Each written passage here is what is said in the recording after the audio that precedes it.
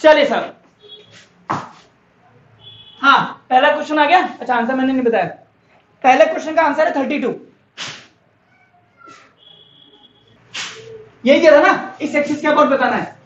तो मुझे पता ही अलग अलग पार्टिकल है। अलग अलग पार्टिकल का मूवमेंट ऑफ़ इनर्शिया कैसे निकलता है? एक वाले का दूसरे वाले का। ये तो है। इसमें मास आपको दे रखा है। कितना था? मास है ये हमारा 2 केजी टू के जी दे रखा है कोई दिक्कत वाली बात ही नहीं है। क्या निकालना है? आर क्या होता है R distance from the axis अब एक्सिस से कितना दूरी पर है? बट कौन सी डिस्टेंस परपेंडिकुलर डिस्टेंस तो आपको ये देखना है कि यहाँ से आप एक परपेंडिकुलर डालिए इसमें ये वाला। अगर ये 37 है ये 90 है तो ये कितना हो गया? 53 हम्म, 53 में ये पाँच है तो ये क्या हो गया? ये हो जाएगा हमारा 5 थ्री फोर तो डिस्टेंस कौन सी लोगे? थ्री का स्क्वायर यहाँ पे पाँच ये भी कितना है? थर्टी सेवन यहाँ से परपेंडिकुलर डालिए। शायद ऐसा का क्वेश्चन है ये। पाँच थर्टी सेवन तो ये कितना हो गया? फिफ्टी थ्री फिफ्टी थ्री में पाँच ये तो तीन। 3 तो यहाँ भी क्या होगा? 3 ये दो हो जाएगा दो दो अठारह अठारह ये आ रहा आंसर चलो ये भी पता लग गया आपको कि परपेंडिकुलर डिस्टेंस होती है। हम्म, अगला था मेरे पास स्क्वायर दिया था मैंने राइट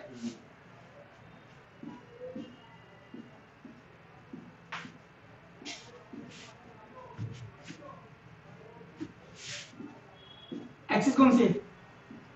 डायगोनल क्लियर हाँ इसका कितना है आंसर बोलो। किसने प्रैक्टिस कर? नो करा था ये? तो इसमें मैं करता हूँ वही M one R one square M two R two square क्योंकि अलग अलग पार्टिकल है ना कोई बॉडी होती तो मैं सेगमेंट एगमेंट मान करके इंडिकेशन लगाता हूँ उसमें।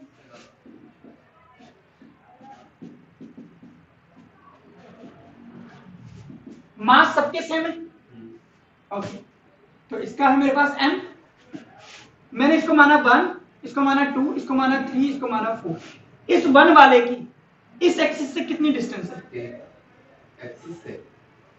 आर क्या होता है? एक्सिस की डिस्टेंस ना? तो ये वाला मास इस वाली एक्सिस से कितना दूर है? ज़ीरो तो इसका कोई मूवमेंट ऑफ़ इनर्शिया नहीं होगा। इसका भी कोई मूवमेंट ऑफ़ इनर्शिया नहीं होगा। क्योंकि axis is passing through the mass itself अब ये कौन सी डिस्टेंस लोगे? ये वाली ये वाली। या परपेंडिकुलर परपेंडिकुलर ये वाली लूँगा ना?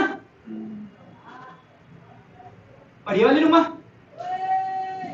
तो स्क्वायर है स्क्वायर में जो डायगनल होते हैं बाइसेक्ट करते हैं ये पूरा कितना होता है? रूट टू है तो आधा कितना हो जाएगा?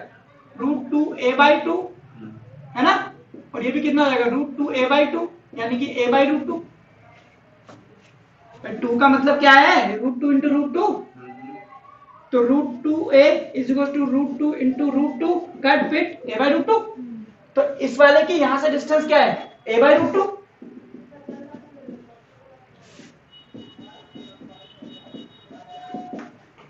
इस वाले की यहाँ से डिस्टेंस क्या है? Perpendicular A by root two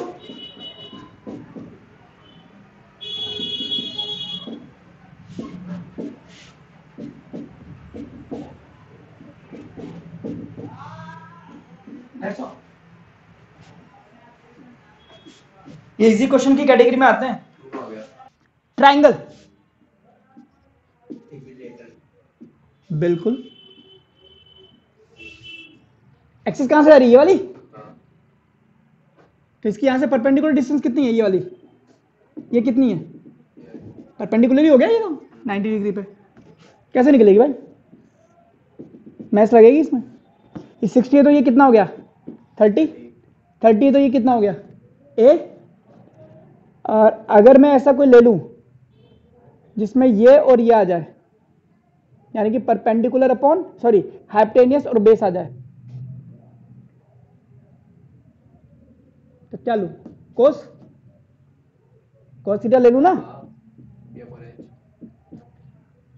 perpendicular यानी कि हाइपटेनियस ये मुझे निकालना है। बेस कितना है ये आधा ए बाई टू है ना हैं? बी अपॉन एच होता है तो बी ऊपर लिख ले मैं, मैं, मैं थोड़ा बुरा मानता हूँ इसी बात का। ये हो गया ए बाई टू ये हो गया H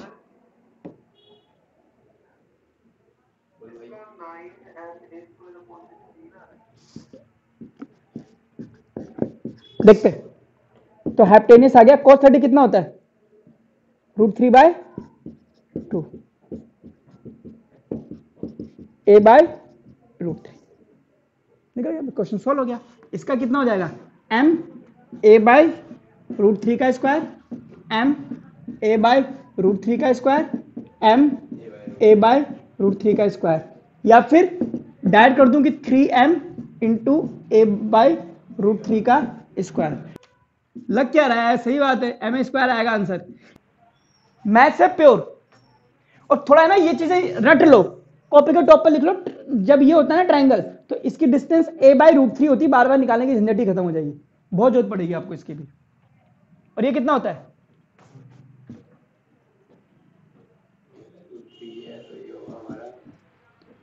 Two A by root three I guess ten thirty perpendicular upon base ten thirty कितना होता है? One by root three A by two root three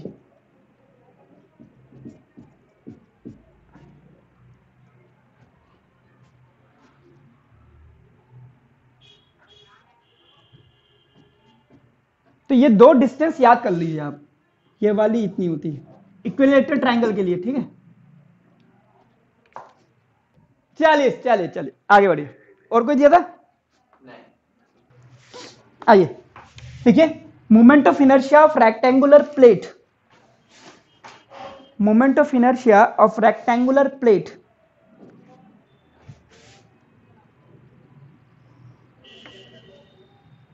ये कोई प्लेट है।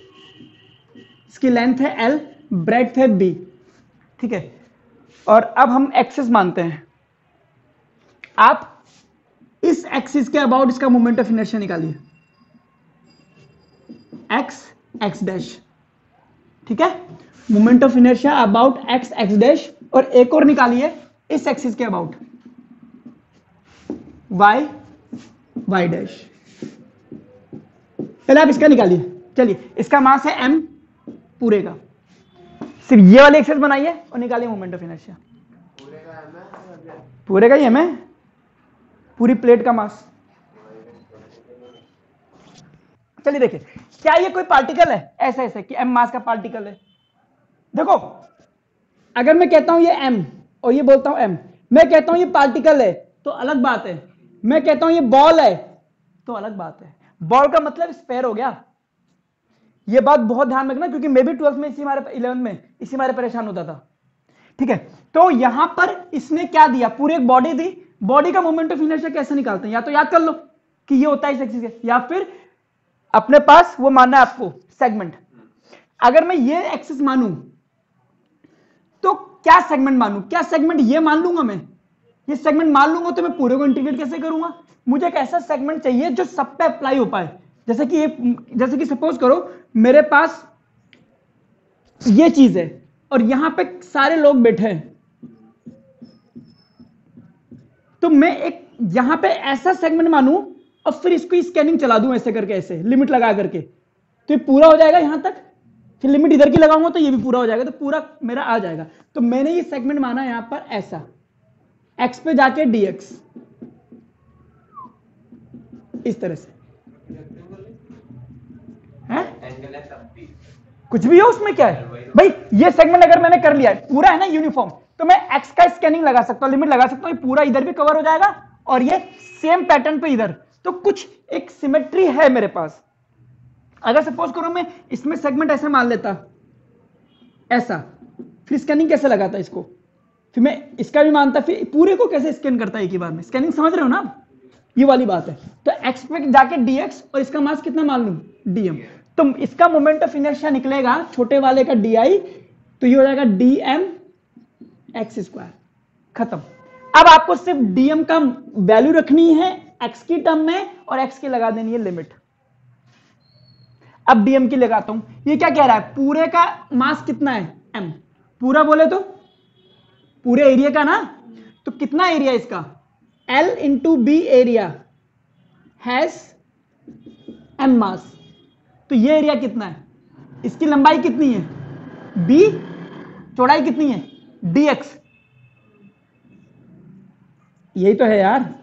ये कितना है? डी एक्स और ये कितना है? बी तो इसका एरिया कितना हो गया? B into D X area has M upon L M upon L B into B X यही है ना? बी डी एक्स देख लो। एल एरिया का मास एम है तो बी डी एरिया का मास ये है। यही क्या है आपके पास? डीएम। इसमें देखो बी कट गया। तो ये हो गया M upon L D X ये मेरे पास डीएम आ गया एक्स की टर्म में। ये वैल्यू यहाँ रखता हूँ। M upon L D X X square. M upon L common आ गया। एक्स स्क्वायर डी एक्स और ये हो गया मेरे पास पूरे का इंटीग्रेशन। अब मुझे एक्स की लिमिट लगानी है। X की मिनिमम वैल्यू क्या है? ज़ीरो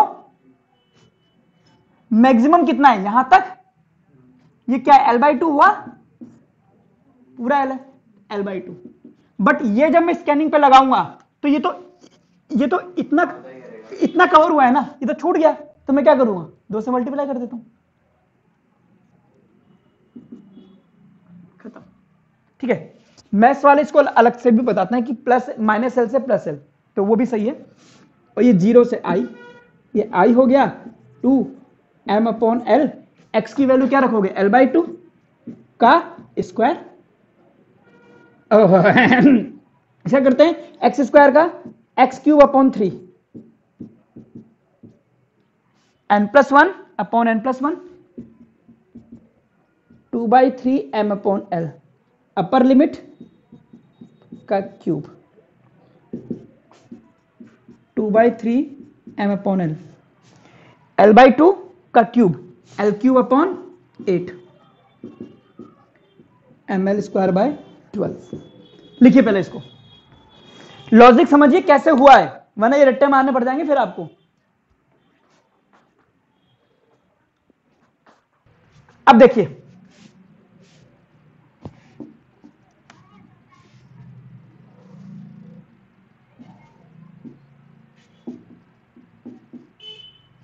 चलिए, अब सुनिए। अब मैं ये वाला करता हूँ। एक्सेस कौन सी है? वाई वाई यानी कि एक्सेस ये वाली है। और अगर मैं गणित लगाऊँ तो मैं ये वाला सेगमेंट मानूँगा। इस तरह से वाई पे जाके डी वाई वाला। तो ये ऑलमोस्ट इसको ऐसे घुमा दूँगा तो वो पहले वाला नहीं हो गया। सब कुछ सेम है। जब आप ये वाला कर रहे थे और आपने ये करा था तो बी तो कट गया था, बचा क्या था? एल और जब आप ऐसे करोगे और ये करोगे तो एल कट जाएगा, बचेगा क्या? बी यानी कि इसका आंसर आएगा M B square by twelve क्या समझे? रिज़ल्ट का है। सेम निकालना है, निकालने की ज़रूरत ही नहीं है। रिज़ल्ट ये निकला कि अगर ये रेक्टेंगल है, ये लेंथ है, ये बी है, सुनो ध्यान से। अगर आपको कहता है इस एक्सिस के अबाउट बताइए तो इसने किसको काटा है? एल को काटा है तो आंसर आएगा M L square by twelve लेकिन मैं कहता हूँ, इस एक्सिस के अबाउट बताइए बताइए तो इसने किसको काटा है? बी को। तो आंसर आएगा M B square by twelve clear आपसे बोले, पूरे का बताओ तो दोनों को जोड़ देना। बट वो सिलेबस में, वो परपेंडिकुलर एक्सिस थ्योरम वो से हट चुकी है। तो ये आ गया मेरे पास रिज़ल्ट कि प्लेट का मूवमेंट ऑफ़ इनर्शिया उसकी जिस एक्सिस से पूछा है, वो एक्सिस जिस साइड को काटती है, उस साइड का स्क्वायर करना है। लिख लीजिए। जनरल फॉर्मूला हो गया ना जनरली ही डायरेक्ट याद करना है कोई क्वेश्चन आएगा आपको डायरेक्ट फॉर्मूला लगाना है।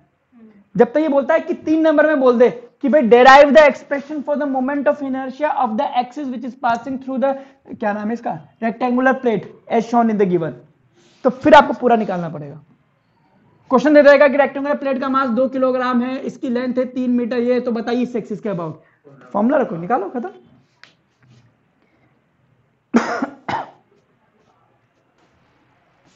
चलिए। तो इसका भी आएगा एम बी स्क्वायर इसका आया था M L square by twelve same है question moment of inertia of ring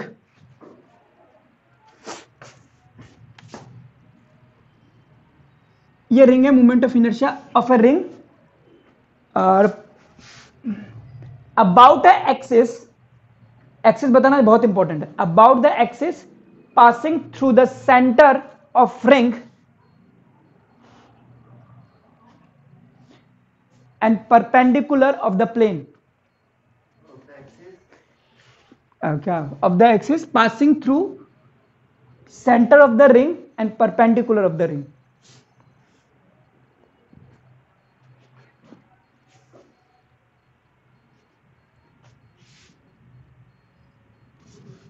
अब देखो हो सकता है रिंग का सेंटर ये आपको ये एक्सिस से बोल दे, ये भी तो सेंटर से पास हो रही है बट ये परपेंडिकुलर नहीं है। हमें कौन सी एक्सिस बतानी है? जो परपेंडिकुलर यानी कि ऐसे। ठीक है? तो अब एक्सिस कुछ ऐसी है, ये वाली। मैंने कहा, यार, ये बॉडी दे दी है। बॉडी दे दी। सेगमेंट मानो। सेगमेंट माना इतना सा। और तो कहीं मानू मास कोई, अंदर तो मास है ही नहीं, मैं क्या करूँगा? तो मैंने माना डीएम और यहाँ से कितना दूरी पर है? आर तो इस सेगमेंट का मूवमेंट ऑफ़ इनर्शिया हो गया डीएम इंटू आर स्क्वायर अब क्या करूँगा? डीएम का की वैल्यू निकालूँगा आर की टर्म में. क्लियर बट यहाँ पे एक चीज़ सोचो। मैं इसका भी अगर निकालता तो भी क्या होता? डीएम इंटू आर इसका भी निकालता तो क्या होता? डीएम इंटू आर जितने भी सेगमेंट मानूँगा, सबका मूवमेंट ऑफ़ इनर्शिया में आर तो कॉमन ही है। तो R square integration of DM और डीएम डीएम डीएम डीएम सारे मिला दोगे तो इसका टोटल मास आ जाएगा एम आंसर आ गया एम आर स्क्वायर इसमें ज़्यादा गणित लगानी ही नहीं थी। याद कर लेना इसको भी।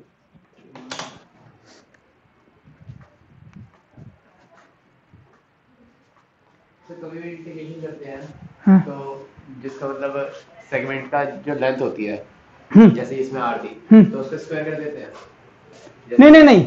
मोमेंट ऑफ़ इनर्शिया का फॉर्मूला क्या होता है? M इंटू आर स्क्वायर अगर ये मास m किसी एक्सिस परपेंडिकुलर डिस्टेंस r है तो यही ना कोई छोटा मास तो अब मैंने क्या करा? मेरे पास ये थी।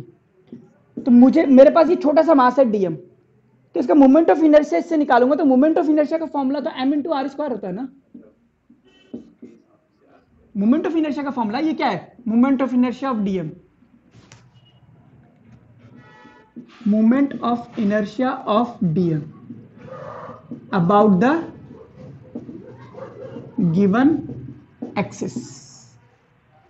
अगर ये फॉर्मूला एम आर होता तो मैं एम आर रख देता। मेरे क्या दिक्कत है? एम क्यूब होता एम क्यूब लिख देते।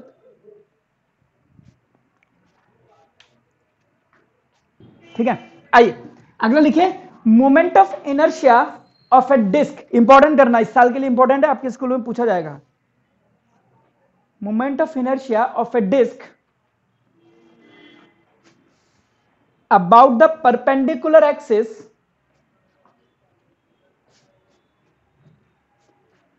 about the perpendicular axis passing through the centre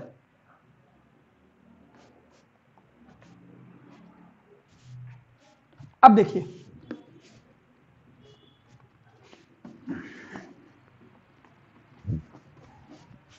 देखिए ये डिस्क है और ये जा रहा है। इसका मास m और r तो विष्णु अभी भी हमने निकाला था एम आर स्क्वायर खत्म? बट ये नहीं होगा। क्योंकि इस बार डिस्क का मास इसके अंदर भी है। ये दिक्कत आ गई। अब बताइए डिस्क के लिए सेगमेंट मानना पड़ेगा? अगर मैंने ये सेगमेंट मान लिया होता बिल्कुल कोने वाला और इसको घुमा दिया होता तो अंदर वाला मास छूट जाता। तो मुझे ऐसा सेगमेंट मानना है जो सिमेट्रिकल हो। आप बताइए डिस्क के लिए सेगमेंट कैसा माना जाता है? लिखवा रखा है आपको। पन्ना पलटिए देखिए। ये तो वो बता रहा था। क्या लिखा है? आर पे जाके की? की रिंग की रिंग बिल्कुल बिल्कुल बिल्कुल बिल्कुल। आइए।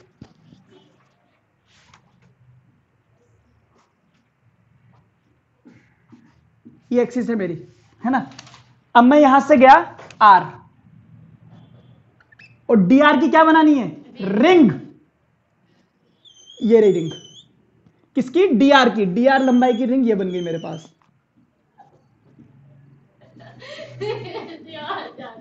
अभी तो बोल रहा है ये क्या कर रहा है? ठीक है, आइए। तो ये हो गया मेरे पास आर पे जाकर के और ये वाली जो डिस्टेंस है, ये कितनी है? डी आर इस पूरे का मास कितना है? एम और रेडियस है आर और एक्सिस है मेरी ये वाली। क्लियर अब मुझे बता विष्णु, इस डीएम मास डीआर डीआर पे डीएम मास, इस रिंग का मूवमेंट ऑफ़ इनर्शिया क्या होगा? रिंग का मूवमेंट ऑफ़ इनर्शिया मैंने अभी निकाला। एम इंटू आर स्क्वायर अगर इसका मास मैं डीएम कर दूँ तो डीएम इंटू आर स्क्वायर तो डी आई हो गया डीएम इंटू आर स्क्वायर क्योंकि मैंने इसकी रेडियस आर मानी। अब क्या करना है मुझे? डीएम की वैल्यू आर के फॉर्म में निकाल देंगे अब बताइए ये कितना मास है? या तो ये सोचो कि पूरा area pi R square area has M mass तो ये जो रेड वाला है, इसका एरिया कैसे निकाला जाए? क्या माइनस करेगा बे? ये अंदर थोड़ा ना सिर्फ़ इसका इसका निकालना रेड रेड का। ऐसा थोड़ा कि इस पूरे में से अंदर वाले को माइनस कर दिया, बाहर वाला आ गया। मुझे सिर्फ़ ये चाहिए, ये पट्टी का। क्या करो? इस पट्टी को निकालो और बीच में से कट कर दो। और कट करके इसको सीधा कर दो। ये पट्टी हो गई आपकी सीधी। पट्टी सीधी हो गई। तो ये कितना है? डी आर है? और ये पूरी लेंथ कितनी आ जाएगी? टू पाई आर तो ये एरिया कितना आ जाएगा? Length into breadth two pi R D R ये हो गया इस पट्टी का एरिया क्यों? भाई, ये पट्टी मैंने क्या करा? बीच में से काट दी रेड वाली को. काट करके निकाल दी और निकाल करके मैंने कर दी सीधी। तो सीधी हो गई? अभी क्या बन गया? रेक्टेंगल जिसकी लेंथ कितनी है? ब्रेथ कितनी है? डी आर और ये। ये आर आर मल्टीप्लाई मत कर देना डी आर पूरी एक चीज़ है। तो length into breadth two pi R D R ठीक है? तो एरिया कितना हो गया मेरे पास? Two pi R D R area has M upon pi R square two pi R D R इसी को आप क्या बोल रहे हो? डीएम निकल गया? अब मैं ये वैल्यू रखता हूँ। D I is equal to D M की जगह लिख दूँगा। M upon pi R square two pi R D R into R square clear अब मैं अगर इंटीग्रेशन करूँगा तो ये तो डिस्क का मास है, ये थोड़ा ना बदलेगा। पाई ने पाई को मार दिया। टू आ गया अब आगे। आर आर मिल करके हो गए R cube into D R upon R square यही है? पूरे का इंटीग्रेशन करूँगा तो ये चीज़ें नहीं बदलेंगी। तो मैं कर दूँगा इसको इंटीग्रेट आर के साथ। अब इस आर की लिमिट क्या रखी जाए? आर की मिनिमम वैल्यू क्या है? ज़ीरो और मैक्सिमम कहाँ तक जाएगा? कैपिटल आर तक।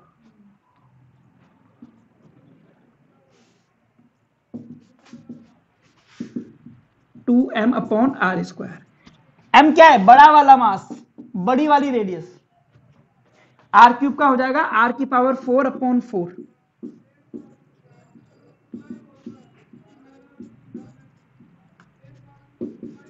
Upper limit minus lower limit, यानी कि आर की पावर फोर। काट पीट करके देखो, ये आएगा M R square by two. That is your answer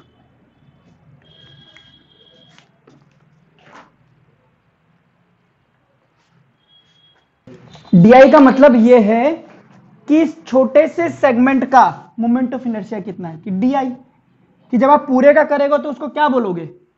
या तो छोटे से सेगमेंट बिल्कुल आर की वैल्यू अगर मैं ज़ीरो रखूँगा तो इतना हो गया तो इसका कोई मोमेंट ऑफ़ इनर्शिया है नहीं तो ज़ीरो का तो ज़ीरो जब आप आर कर दोगे इसकी लिमिट खींच करके तो पूरे के मोमेंट ऑफ़ इनर्शिया को क्या बोलोगे? आई इसलिए आई से डी आई और डी आई का इंटीग्रेशन आई होता है।